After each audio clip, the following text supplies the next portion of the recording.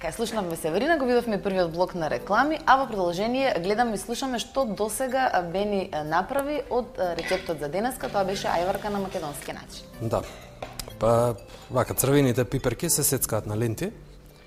Месото, нели се чисти од коска, ако има коска, се сецка на коцкици. Се ставаат во тава предходно намастена со масло. Јајца да се матат, се посипува и се пече. Колку време е потребно да, да, да се испече? На која температура? 15 на минути на температура 200 степени. Така. Предходно загреана рерна. Да, имаме доволно време до крајот на емисијата, ќе се вклучиме повторно да видиме што се случува во тој дел од студиото. Кога сме кај храната, Северина, колку готвите? Имате ли доверба било каде да јадете? У принципу могу, теоретски. Ali onda sama sam idem na živce. Naprimjer da jedem u, u, u 1 sat ujutro ili da jedem tipa u 11 na večer. Imam strašnu grižnu savjest, ali dalje jedem. To mi se na primjer desilo sinoć. Kad smo došli u Makedoniju, onda smo išli na večeru. I večera je trebala po svemu završiti u 11. Međutim, oni uopće nisu sklanjali tu hranu koja je bila na stolu. I to je bilo i u 12. I onda ja sam samo imala sam svako sam, ja sam svako malo čokala tako nešto što je bilo ovaj, to na dnevno. Rekla sam, hoće li iko odnijeti ovu hranu? Dakle, e, Hrana je nešto u čemu što volim, u čemu se uživa. E, sad mi je idu zazubice, iako smo ručali, zato što ja kao mala sam najviše voljela suho meso što, što se sad rezalo. E, dakle, potpuno, ja sam tipična dalmatinka. Dakle, ne kupam se u moru i riba mi nije bila ovaj, uopće zanimljiva. E, međutim, onda prije tri godine sam dobila alergiju. E, da li zbog posla, zbog stresnog posla i tako dalje. Zbog stresa. I e, postala sam alergična na sve mliječne proizvode, dakle sir, putar, vrhnje, mlijeko. jedna potpuno nova situacija u mom životu, na kofein, na limun, na, na soju, lecitin, soja mi je bila, a soja lecitina ima svugdje. Ja? E, tako da sam onda potpuno promijenila prehranu. I onda e, sam se u stvari naučila da ne mogu jesti sve i ne mogu jesti u svaka doba. Dakle, zbog zdravlja. Ja, bi bila, ja sam bila sva, sva crvena, jedno tako dva, tri mjeseca, ja uopće nisam znala od čega je to meni, dok me nisu stigli testovi. I e, u principu sada negdje tek tu i tamo pojedem putar, tu i tamo pojedem sladoled. Dakle, ja nisam smjela jesti ni sladoled, ni čokoladu. Ništa što sadrži mlijeko i ove Ništa što da, da. E, tako da sam bila osuđena na tu istu ribu, koju nisam ovaj, baš nešto gotivila, na ribu, e, na meso, ali bez nikakvih umaka, bez nečega. Tako da, e, to mi je najme učinilo dobro, vjerojatno. I ovo, lete mi lete 30. Vjerojatno je to bila jedna dobra prirodna dijeta Znate ono, kako se približavate valjda svakom nekom e, godištu, tipa iz 20. u 30. dobijete neku kilažu koja stoji i onda to tako stoji. Kako idete 40-ima, valjda isto dobijate, ne znam, još, ne znam, od bora, pa se valjda širi se glava, ne znam, uši rastu, nos. uši i nos dojka smo živi. E, dok smo živi, da. Uglavnom, ovaj, e, tako da mi je to bila jedna dobra, ovaj, dobra dijeta, ali strašno volim. veliki sam gurman i e, Međutim, e, imam opet sreću. Dešava mi se, na primjer, slomila sam koljeno na koncertu.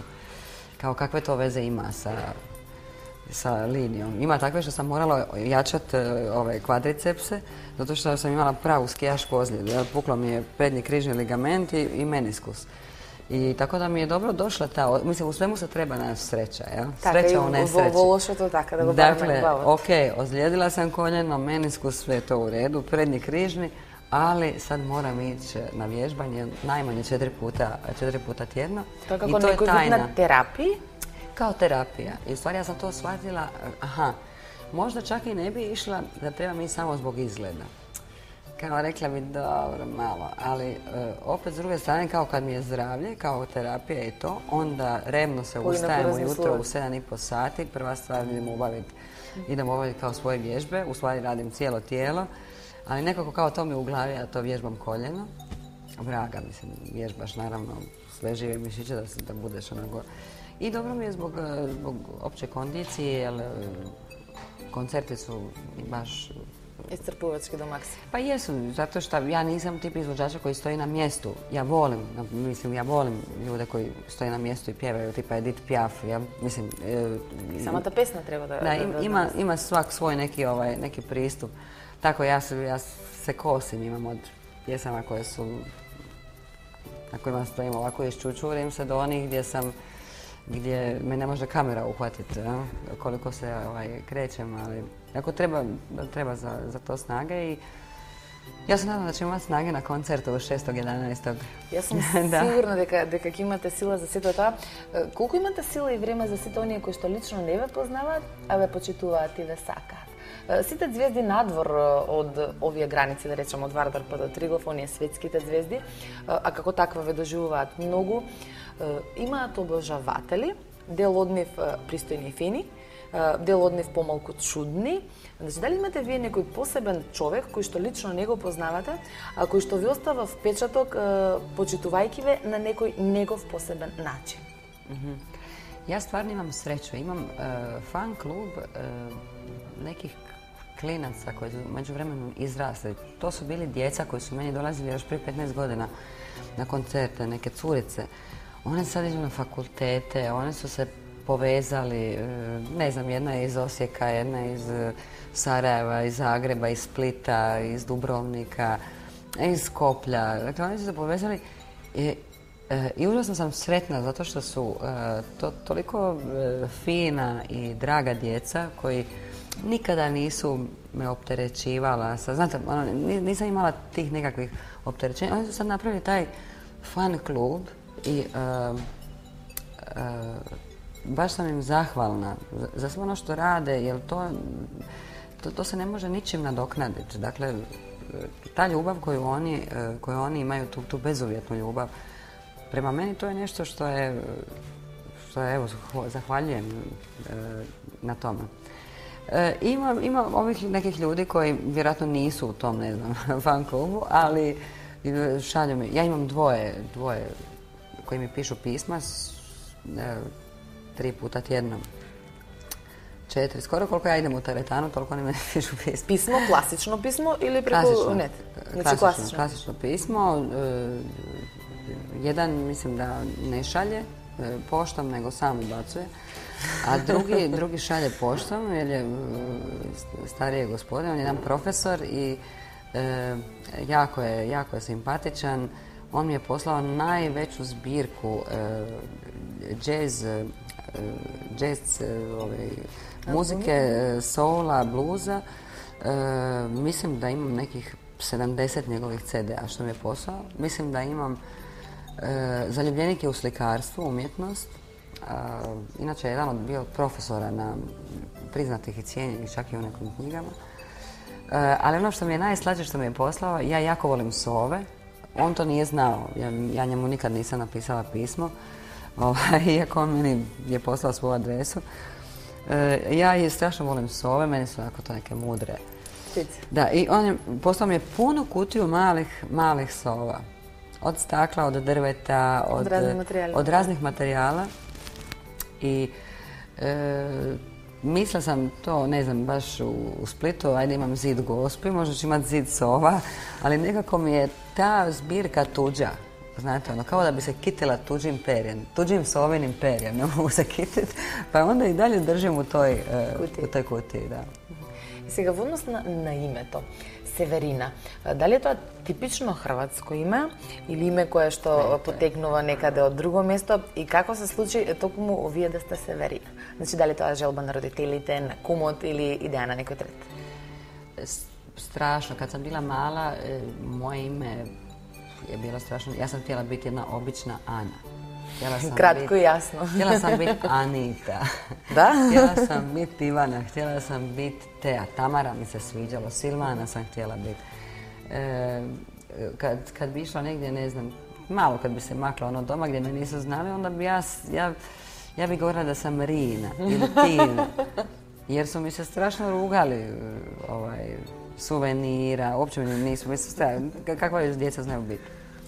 A ime sam dobila, moj djeda je bio osebujan, rekao bi se čovjek i on je e, davao ime djeci po stranama svijeta. Tako da prvi je se rodio Jugo, e, taj najstariji stric. I postoji Jugo? Da, postoji Jugo, da. Njega zovu Jugo. E, moj tata je Sever i dva mlađa brata, istok i zapad, i zvijezda Danica. To je bilo po zvijezdi kao. Čekajte se, ovako da budemo jasni. I Mija da nivni baš se taka? E, ne, onda je moja baka, koja je bila fetiva spričanka, dakle prava Spričanka, ona se udala za Vlaja, to je moj dida, koji je bio tako vjerojatno jedan za, e, e, Dali iz Zagore, ali, ali koji, koji, koji, nije imao ovaj, koji nije imao tu slikarsku taj slikarski dar, nego tako dar prema šta znam, izmišljanje imena. Usilnu darbu. Da, onda je baba rekla ti nećeš raditi od moje djece redikule.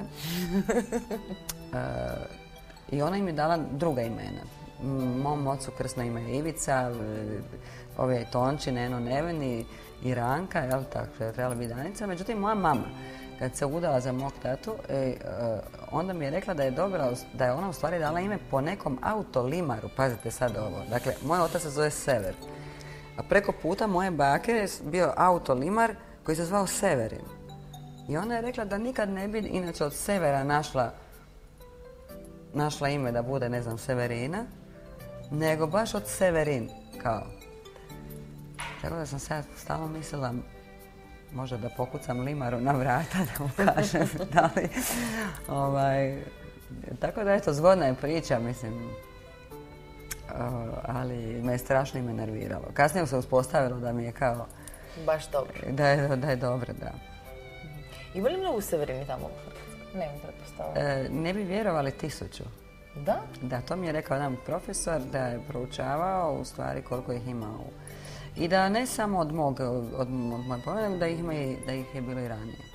Na francuskom e, sever znači strog, pravedan. E, na turskom, to mi je rekla jedna pjevačica koja je iz Turske, rekla je da, je, da znači ona koja voli. Помеѓу ова првото објаснување и второто, каде се наоѓате повеќе? Неге у средини. Најдобро е да сте во средини. Е, сега повторно е време за песна. Во договор со што би оделе, бидејќи имате навистина многу, 10 студиски албуми и сето она што добрва треба да се најде на вашиот нов албум, се одлучивте да ги поздравите сите оние кои што постојано се на пат. И една преубава песна која што беше хит и се уште е онака мотив за сите професионални возачи. Газ, газ. Apsolutno, posvećena svima njima i svima onih koji su na cesti, a to, ovaj, to, su u stvari svi. Jedna vesela pjesma. Mogla sam izabrati, ne znam, neku gade ili nešto ovako, ali mislim za kraj mislim da treba biti vesela. Така, изборот ваш ќе го прифатиме, во продолжение одиме со Газ Газ.